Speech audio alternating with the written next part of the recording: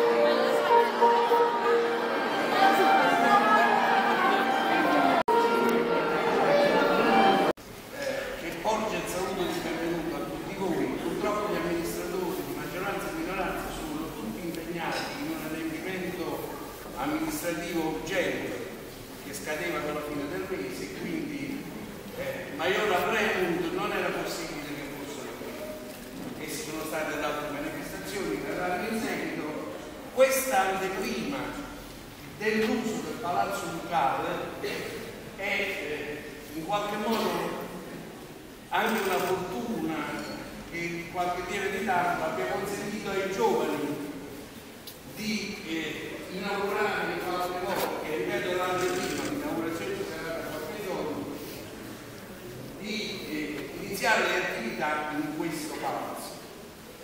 Perché eh, veniamo da lontano, più di un anno fa, con l'accordo del corpo docente e del dirigente scolastico, nell'ambito di un progetto, il progetto Antropos, che prevedeva l'avvicinamento alla storia tramite le biografie dei personaggi, abbiamo riscoperto eh, la figura di questo personaggio di letteratura internazionale che è Lucio Caracciolo di Roccaromana e eh, come l'abbiamo riscoperto? Con delle lezioni delle scuole a Roccaromana, eh, di Tramerare e di Arco, con eh, materiale didattico in parte fornito, in parte rintracciato dagli allievi e quindi eh, poi con altre attività laboratoriali nell'ambito del progetto, progetto portato avanti dal comune di Pietramerata che si intitola Un duca guerriero il suo palazzo,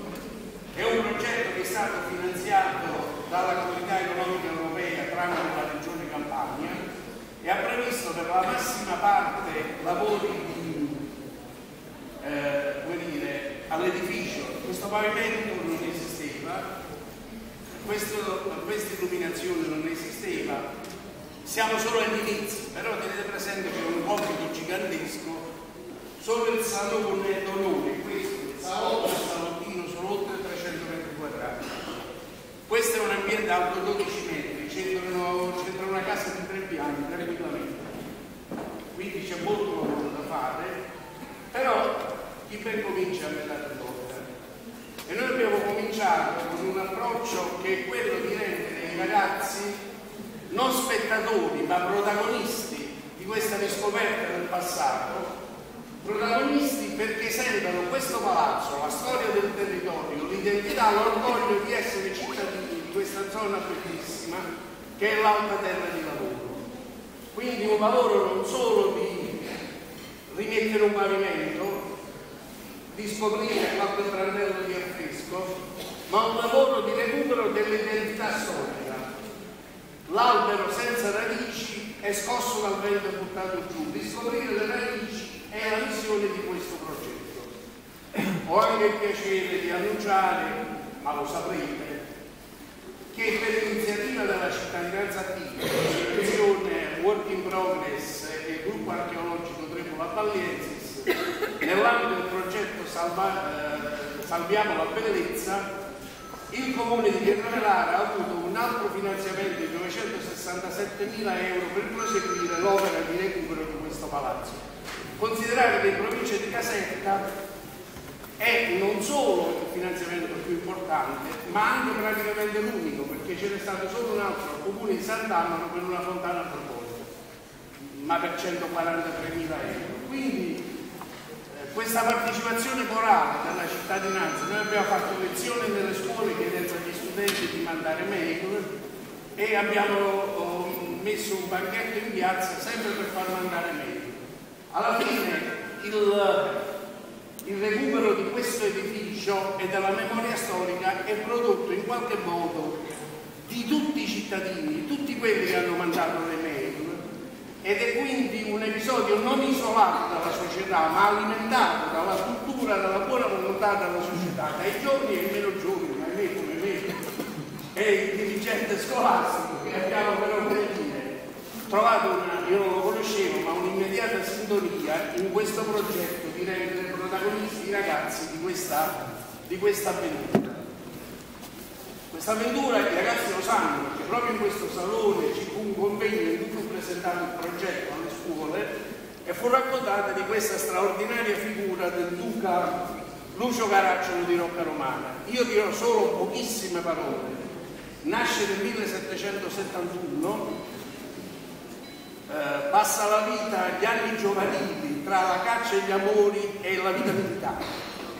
A neanche 30 anni si copre di gloria poiché nella piana di Gaiazzo a Pontelatone, quando francesi, l'esercito francese assediava Capua, un reggimento di 600 francesi granatieri eh, scende nella pianura per agitare la piazza Porto, per prendere alle spalle Capua.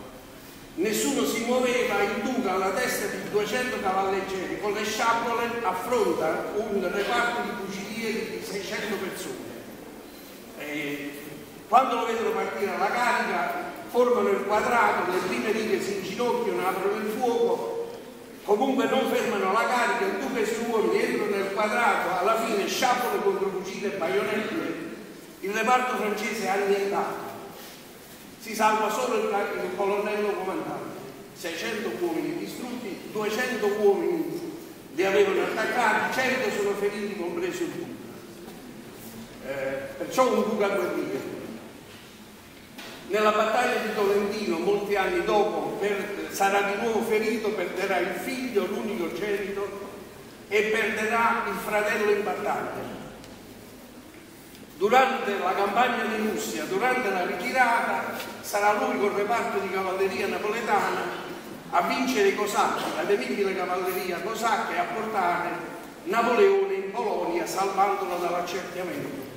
Un uomo che non è stato però solo un guerriero, è stato, ha partecipato al congresso di Vienna ed è stato anche un diplomatico finissimo. Quando lui ha restituito gli stati di Toscana e Lorena, eh, poiché tutti temevano che quando i francesi si ritiravano, razziavano tutto, lui ha mantenuto una disciplina ferrea ai soldati di Murat e eh, non solo non hanno portato via niente, ma finanche eh, fece 100 eh, doti per ragazze povere che dovevano sposarsi.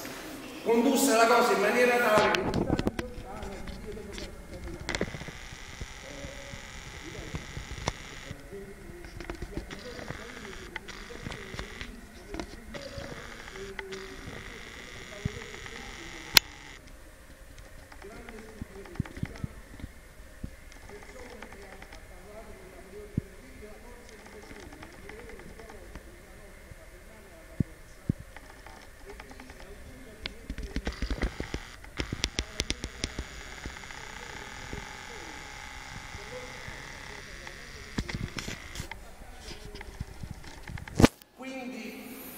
procedono nella notte di, due, di 300 cavalleggeri napoletani ne arriveranno un'ottantina insieme a Napoleone, gli altri cadono nella neve o nella battaglia o eh, per il freddo. Immaginate che il portiere di Napoleone che guidava la carrozza eh, morì di freddo e fu sostituito da un ufficiale napoletano. Per dirvi in che condizioni si, si eh, in che condizioni agivano e come avessero il massimo disprezzo del pericolo e della morte. Personaggio, di grandissima levatura che lega questo territorio alla grande storia europea, un grande personaggio, un grande palazzo. Questo è praticamente l'unico edificio rinascimentale praticamente intatto di tutta l'alta terra di lavoro. Ci sono altri palazzi di uguali, per esempio quello di Monte Matesi, di Presenzano, ma sono edifici cresciuti per successive aggregazioni. Non hanno l'armonia, lo stile, la severità, l'eleganza di questo edificio. Tutto questo noi oggi celebriamo, tutto questo noi oggi eh, consegniamo in qualche modo a voi ragazzi e a questo punto credo di aver parlato anche troppo. Per cui eh, sono lieto di annunciare concerto degli alunni dell'Istituto Falcone Porcellino che si intitola Il ritorno del duca guerriero e il restauro del suo palazzo. Grazie.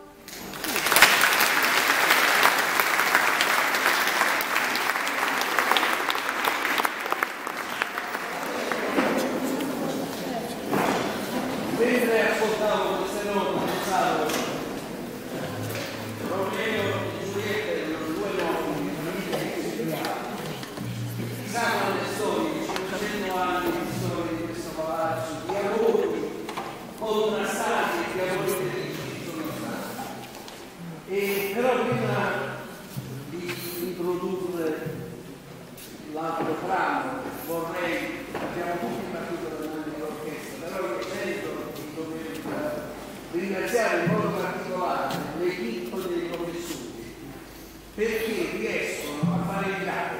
Pensate che sulle terze medie vanno via, arrivano via tutti, quindi più aspetti se ne vanno. E se pensate che sono un paio di mesi di scuola e arrivano a questi risultati, bisogna dire che è un miracolo, quindi io credo che vada fatto un applauso a chi ha avuto l'intuizione dell'indirizzo musicale, sia, e ai docenti che riescono a fare